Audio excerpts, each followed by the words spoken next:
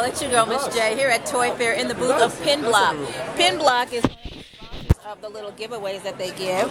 So they have these outside, and Emperor was playing with one. right? These are some of the things that you can make with the pin blocks. You see that? And I love this you want with it. Empire State Building. Isn't that like the coolest thing?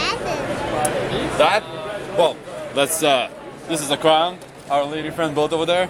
And this is an artwork. Check it out.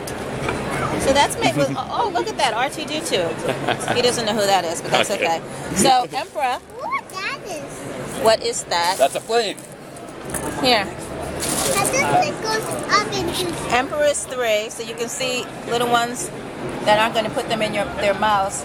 This is a nice little dexterity toy for them to work with smaller things. This is just uh, JetBlue, good version of the. It looks like us. When we just got our first prototypes. they made a mistake of manual. And they stick right together. will be all correct. Just like that. Yes. So it's really recommended from ages 7 to se- 7 to 14. They have 1,000 pieces, they have 900 pieces, etc., etc., downward and upward.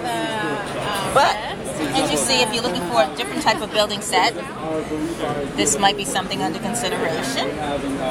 Again, the ages that they say is from 7 to 14. Emperor is only 3, and I would let him play with these because he doesn't put things in his mouth. Pin block. It's been Miss J with a 411. See you next time. Toodles.